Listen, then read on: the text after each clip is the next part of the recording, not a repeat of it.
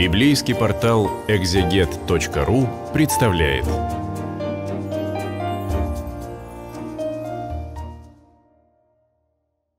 Сегодня на библейском портале «Экзегет» мы продолжаем наши беседы а, по а, первому а, соборному посланию апостола евангелиста Иоанна Богослова.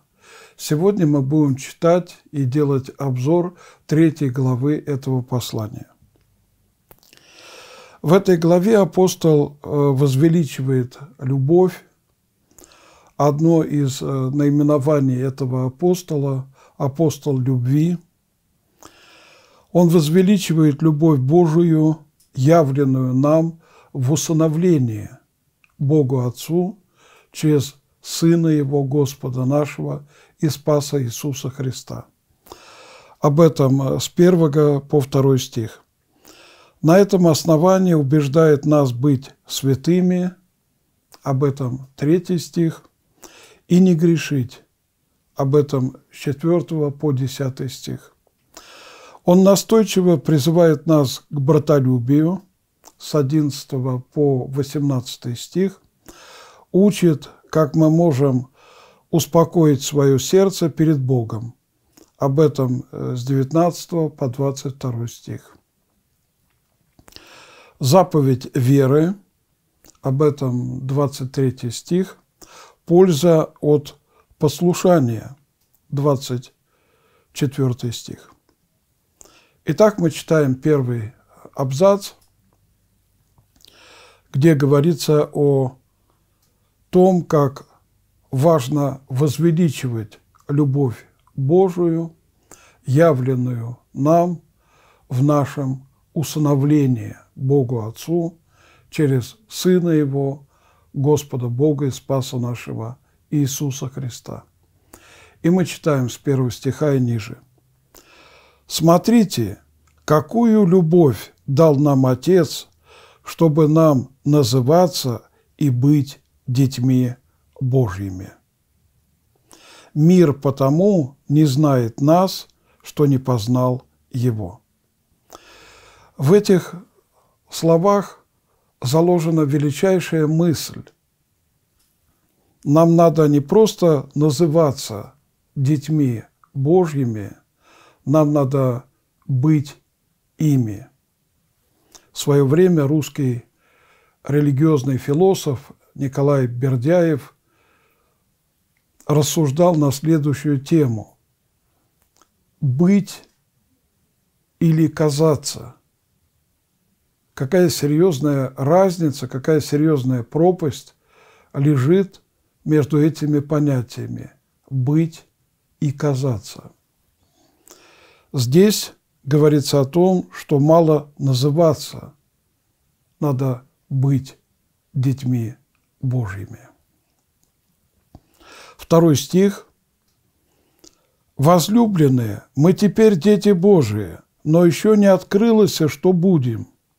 Знаем только, что когда откроется, будем подобны Ему, потому что увидим Его, как Он есть» увидеть Бога мы сможем только очистив наши сердца, ибо чистые сердцем могут узреть Бога.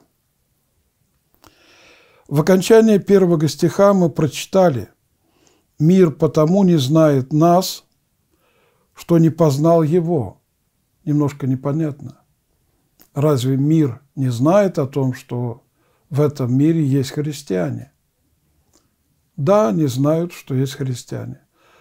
Но кто такие христиане? Что они из себя представляют? Мир этого не знает.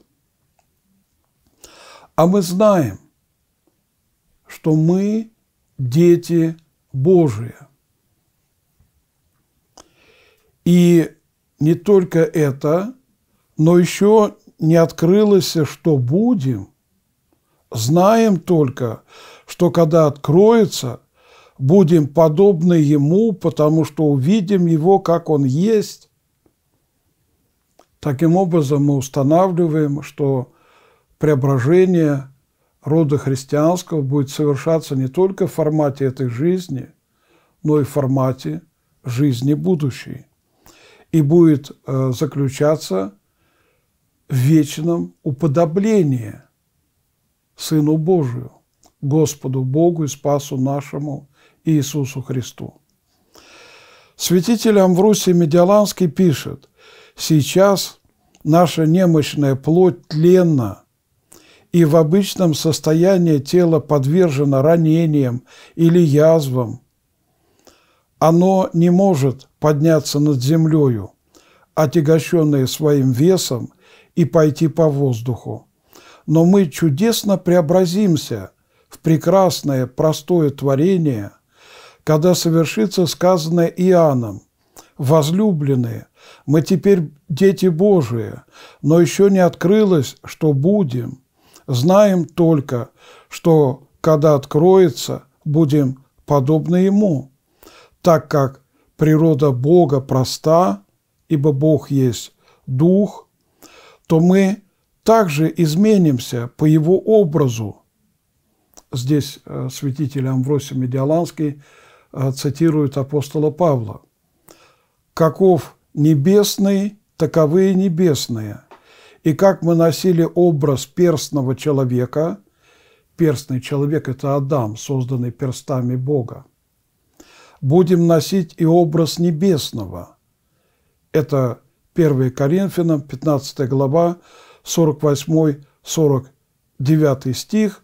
И Амвросий Медиаланский оканчивает свое рассуждение словами, в который должен облечься наш дух, то есть в который образ, образ Христа должен облечься наш дух. Преподобный Иустин Попович пишет, «И каждое чадо Божие растет возрастом Божьим, в мужа совершенно, в меру возраста исполнения Христова, и увеличивает церковь, увеличивает тело церкви со всеми святыми. Спаситель нам даровал в своем богочеловеческом теле божественные, животворные силы, которые нам необходимы для христотворения и во Христосывания, для церкви творения и Христо оцерквления, да подобно Ему будем. Это Христотворение и Христоподобие дает человеку всеобъемлющее представление о Боге-человеке, в полном сиянии Его богочеловеческих совершенств, поскольку узрим Его, каков Он есть. Самое глубокое и истинное, единственное и верное познание Христа может быть достигнуто только с вохристосыванием и христотворением, поскольку мы становимся, как Он, подобными Ему. Конец цитаты. И действительно, э, в Новом Завете, например, мы находим такие слова – это послание к, филипп, к филиппийцам первоверховного апостола Павла, 3 глава, 20-21 стих. «Наше же жительство на небесах,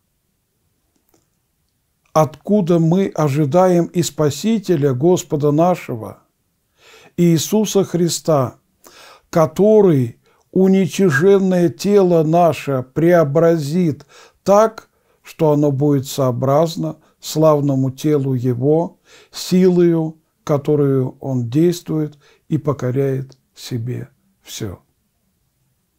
Вот одна из причин, а, почему Христос преобразился перед учениками. Он показал ту славу, которая ожидает их.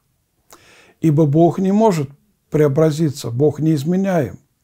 Преображается человеческое тело Христа – предначертывая для нас то, что ожидает нас, если мы веру сохраним, течение совершим.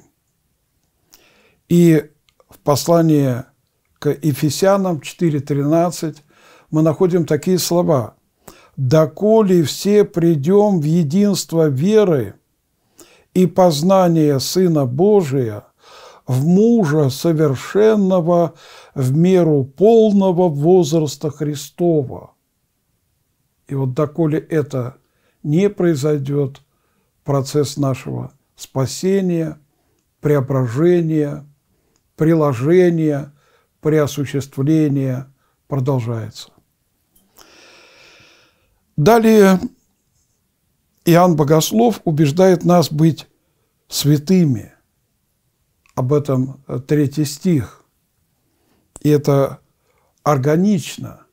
Сначала он сказал о том, что мы должны пережить усыновление Богу Отцу через Его Сына, а Сын Его свят, и, следовательно, и самим нам надо становиться святыми.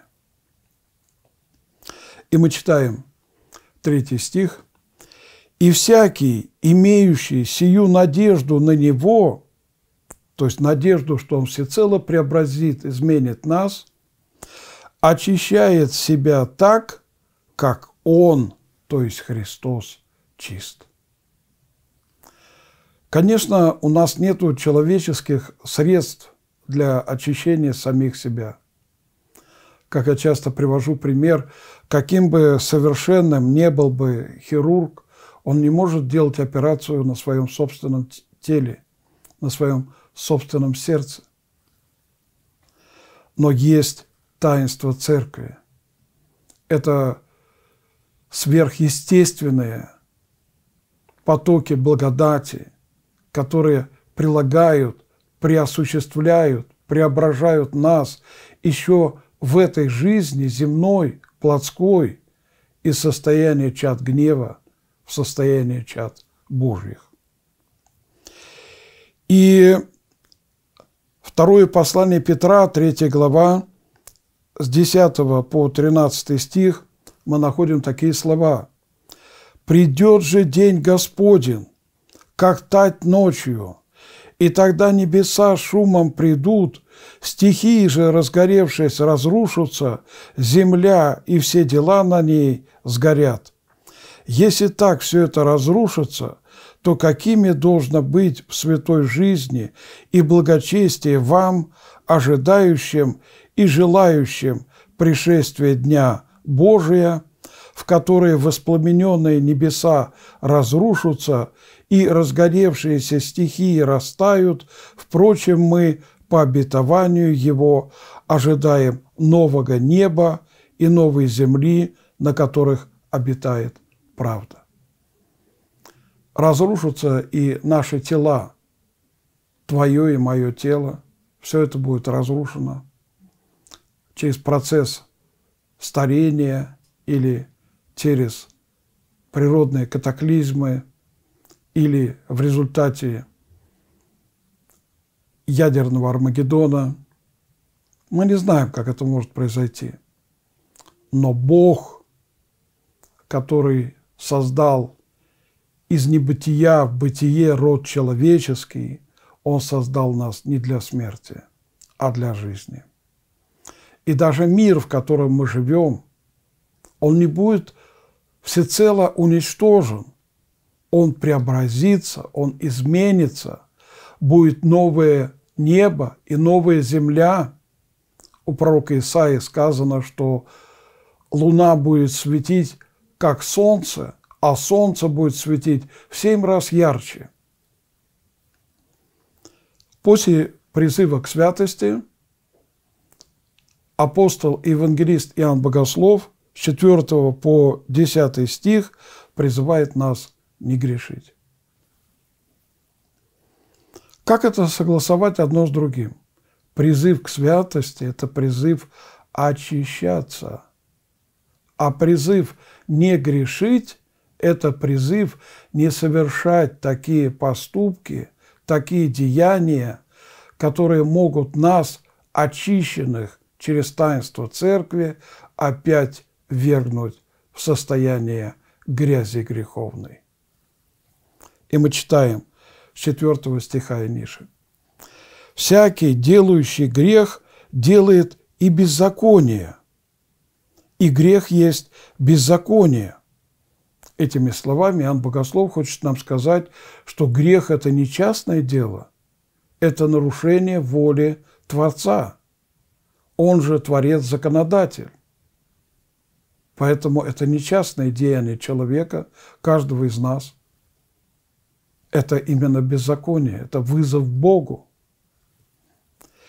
И вы знаете, что Он явился, то есть Он, Христос, явился для того, чтобы взять грехи наши, и что в Нем нет греха.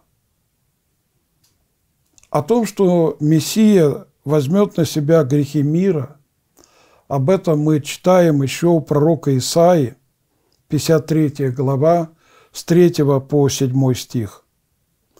Здесь предсказывается о Христе. Он был презрен и умолен пред людьми, муж скорбей и изведавший болезни, и мы отвращали от него лице свое. Он был презираем, и мы ни во что ставили его, но он взял на себя наши немощи и понес наши болезни, а мы думали, что Он был поражаем, наказуем и уничижен Богом, но Он изъязвлен был за грехи наши и мучим за беззаконие наши.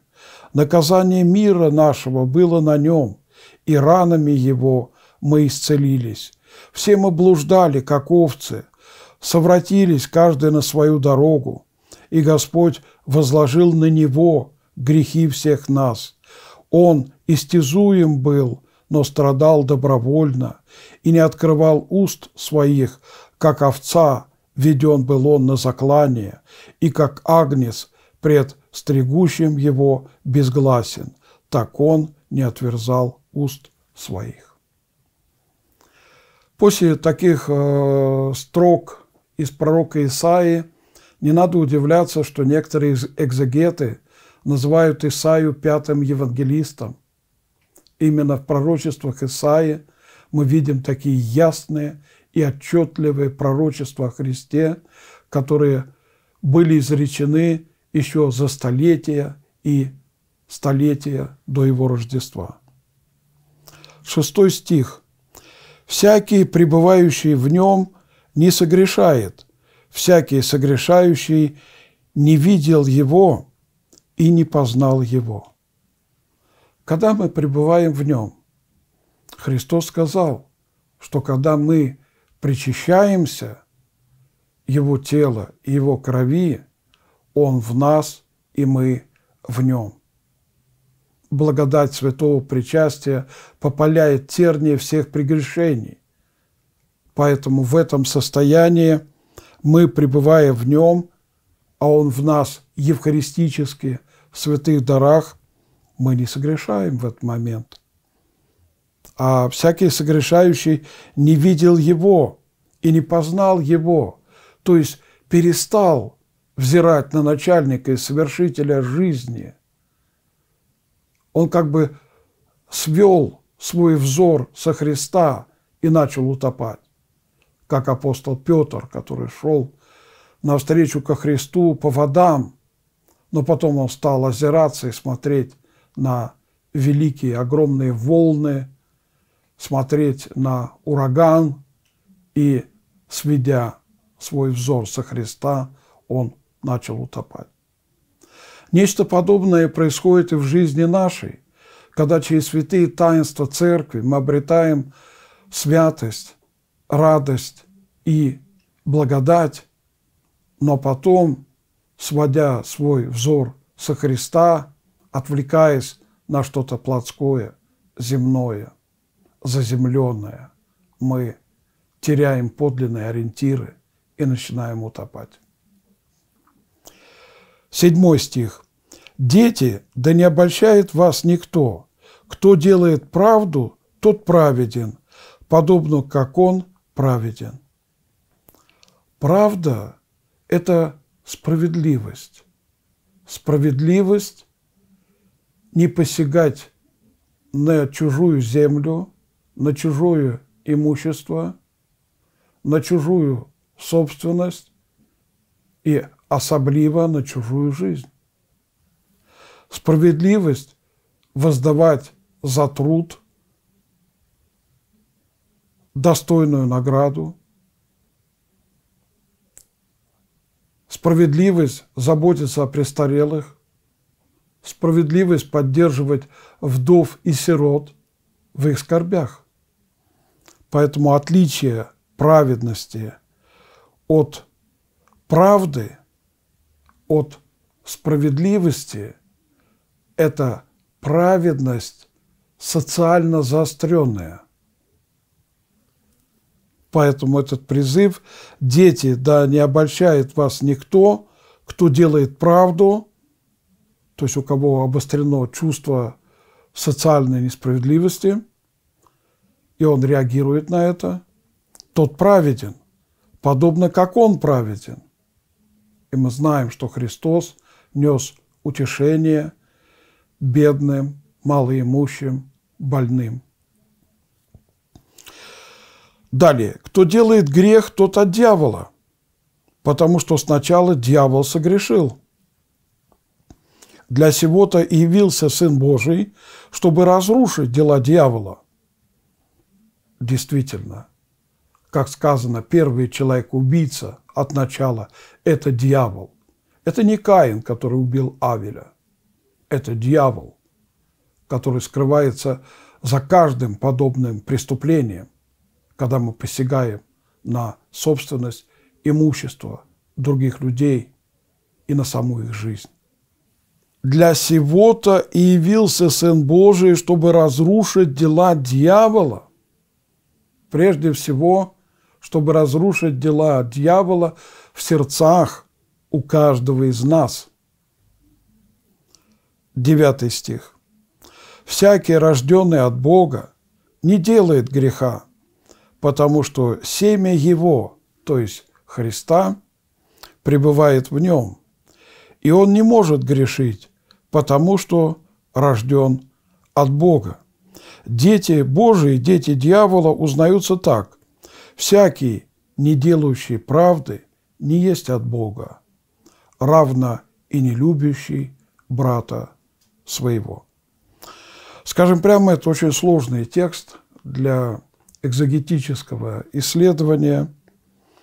Здесь говорится, что верующий рожденный от Бога, он не может грешить. Но как же тот же Иоанн Богослов и другие апостолы настаивают на том, что мы все много согрешаем. Как связать одно с другим? Здесь говорится о том, что рожденный от Бога не грешит – рожденный от Бога, это рожденный свыше. Это тот внутренний наш человек, о котором часто рассуждает апостол Павел, сравнивая его с плоским человеком, который все время э, стремится к Богу и все время призывает нашу совесть приблизиться к Богу, внутренний человек это начатки будущей вечной жизни в Царстве Бога. Он действительно чужд греху, как апостол Павел пишет. Чего не хочу делать, то делаю. Чего хочу делать, то не делаю. Как будто в нем тоже присутствует два человека. Один духовный, другой плотской. Беда достопочтенный пишет – мы пребываем в нем, то есть во Христе, настолько, насколько не согрешаем. Здесь Иоанн говорит о видении и познании Бога, которыми праведные наслаждаются уже в этой жизни, пока не достигнут в жизни будущей видения совершенного совершенного видения и совершенного созерцания. И Без сомнения, та часть каждого из нас, которая тяготеет к божественному, чистому, святому, она противостоит той части нашей самих, которая тяготеет к плотскому, гедонистическому, эгоистическому, бесовскому. Далее отрывок с 11 по 18 стих. Здесь апостол и евангелист Иоанн Богослов настойчиво призывает нас к братолюбию. Братолюбие. Какое вожделенное слово, особенно в наше тяжелое время. Братолюбие. И долго на территории э, нашей страны. Воспевалось э, братолюбие, я имею в виду советский период, когда пели о том, что братских народов союз вековой, он никогда не разрушится, и никто не мог даже себе представить, никто не мог ожидать, что этот братский союз рухнет, потому что братолюбие, не основанное на вере в Бога, это сговор ради каких-то сиюминутных настроений.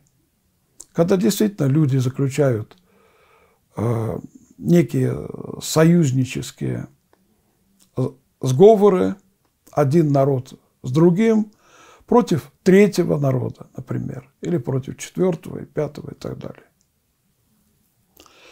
Таким образом, мы выясняем, что подлинное братолюбие, основанное на любви к Богу, и через эту любовь к Богу на любви к ближнему, это не то человеческое представление о братолюбии и братстве.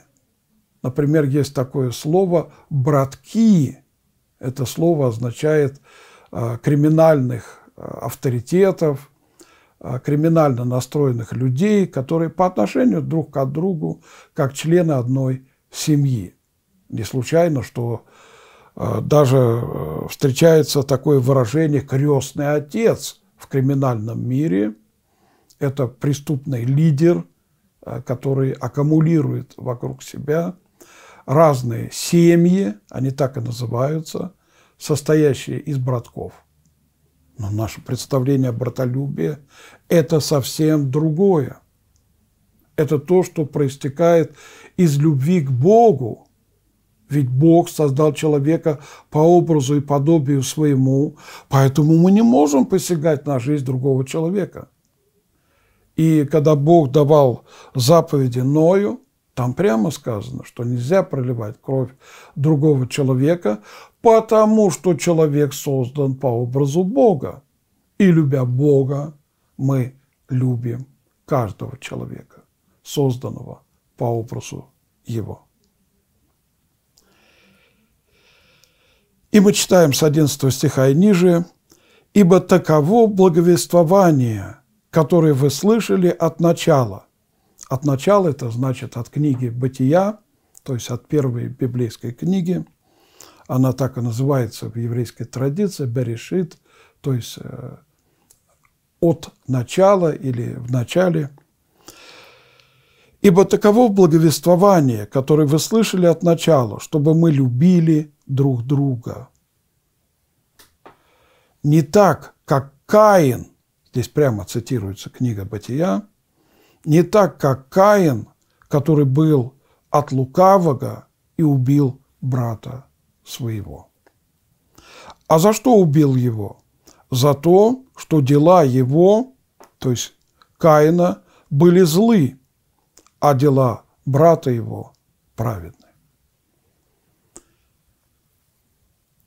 То есть мы наблюдаем в мире невозможность сосуществовать тем, которые злы, с теми, которые, я не скажу праведные, с теми, которые стремятся к праведности, ищут и взыскуют ее. Как и сказано в Библии, что желающие жить благочестиво, не живущие благочестиво, желающие, только пожелавшие будут гонимы. Не так, как Каин, который был от лукавого и убил брата своего, а за что убил его? За то, что дела его, то есть Каина, были злы, а дела брата его, то есть Авеля, праведны. Не дивитесь, братья мои, если мир ненавидит вас. Нам действительно иногда бывает трудно понять, почему мир э, ненавидит э, нас, э, верующих, какой урон мы наносим этому миру. Мы же вообще дистанцируемся от политических страстей, чтобы не участвовать в коллективных грехах наших современников. Христиане – это хорошие граждане своей страны, но в той мере, в какой они исполняют закон Божий, но мир не признает нас как своих. Мир всегда видит, что мы другие.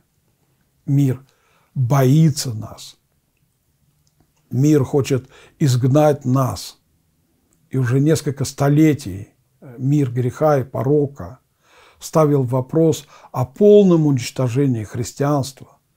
Это было во второй половине XVIII века, известная французская буржуазная революция. Это было в XIX веке, это было в начале XX века, и это сейчас продолжается, когда либеральный фашизм приходит на смену коммунистическим тираниям и пытается опрокинуть всех и все в грязь безнравственности. Они ненавидят нас за то, что дела их злы, греховны, а грех – это беззаконие, а мы стремимся к праведности. Мы знаем, 14 стих, что мы перешли из смерти в жизнь, потому что любим братьев. Вот как можно выяснить, оторвались ли мы от греховной смерти, перешли ли мы из смерти в жизнь. Это братолюбие. Опять это вожделенное слово – братолюбие. Это и есть проверка, тот тест, который определяет, являемся ли мы христианами или нет. И окончание 14 стиха «Не любящий брата пребывает в смерти». Кто-то может задаться вопросом, а кто мой брат, кто мой ближний? Библия категорично отвечает на этот вопрос, что мы произошли от одной крови, крови Адама, весь род человеческий. 15 стих. «Всякий, ненавидящий брата своего, есть человека убийца». Здесь не сказано, что всякий убивший брата, человек-убийца, ненавидящий брата, презирающий брата, уже человек-убийца. Вспомните учение Христа из Нагорной проповеди, что всякий гневающийся на брата своего напрасно, уже человек-убийца. И Иоанн Богослов развивает эти слова Христа как некую тему. «Всякий ненавидящий брата своего есть человек-убийца, а вы знаете, что никакой человек-убийца не имеет жизни вечной в нем пребывающей». В каком случае жизнь вечная может в этой земной жизни уже пребывать в нас. Давайте вспомним, что когда нас причащает, причащают телом и кровью, то произносятся слова «во оставление грехов и в жизнь вечную». 16 стих. «Любовь познали мы в том, что Он, то есть Христос, положил за нас душу свою, и мы должны полагать души свои за братьев. А кто имеет достаток в мире, но, видя брата своего в нужде, затворяет от него сердце свое, как пребывает в том любовь Божия. Дети мои, станем любить не словом или языком, но делом и истиною.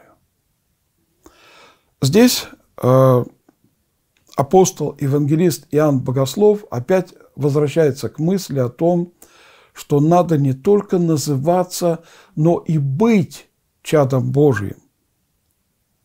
А здесь станем любить не словом или языком, но делом и истинную, как любовь Божия воплотилась в истинное человечество Христа Иисуса, так и наша вера, она должна иметь воплощение в добром, внимательном, любвеобильном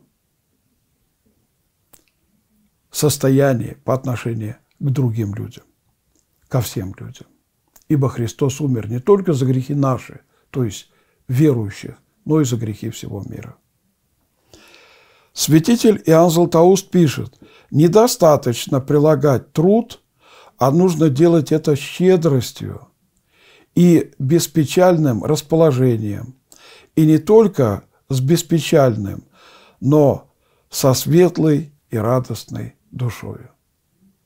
Вот так мы должны проявлять всякое добро в этом мире. Далее идет отрывок с 19 по 22 стих. Этот отрывок учит, как мы можем успокоить свое сердце в Боге и с Богом. И мы читаем, и вот почему узнаем, что мы от истины и успокаиваем перед Ним сердца наши.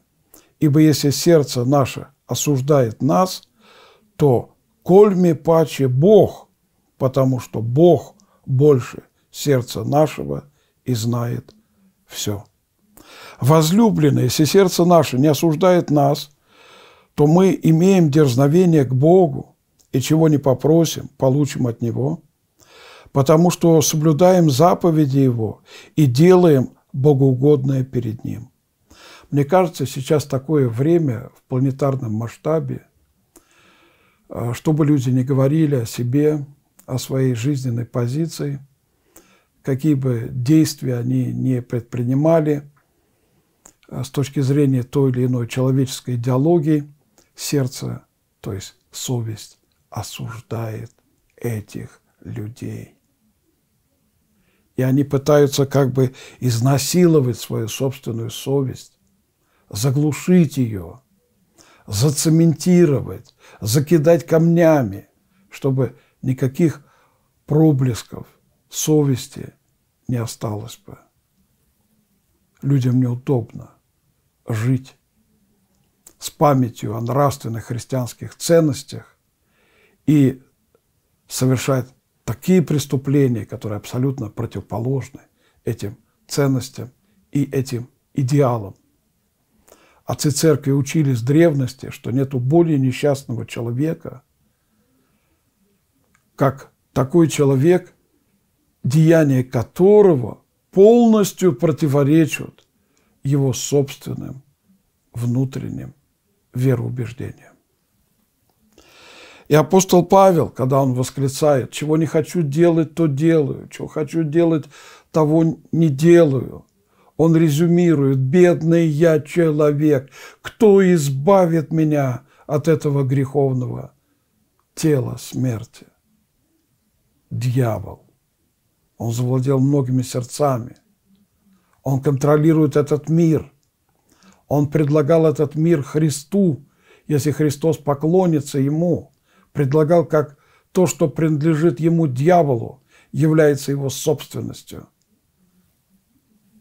Далее идет заповедь веры, стих 23, и мы читаем, «А заповедь его та, чтобы мы веровали во имя Сына Его, Иисуса Христа, и любили друг друга, как Он заповедал нам» Обычно под заповедью мы понимаем призыв что-то не делать, например, не прелюбодействуй, не убивай, не кради и так далее.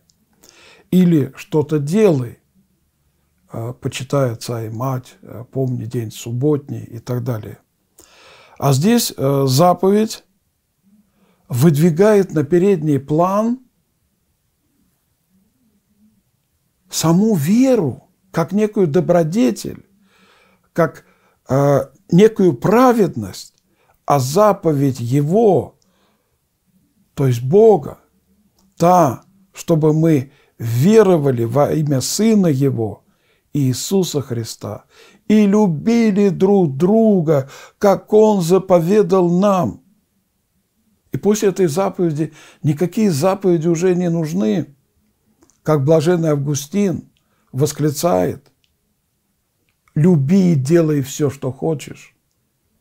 Если ты делаешь по любви, а любовь есть совокупность совершенств в библейском понимании, ты не сотворишь зла никому.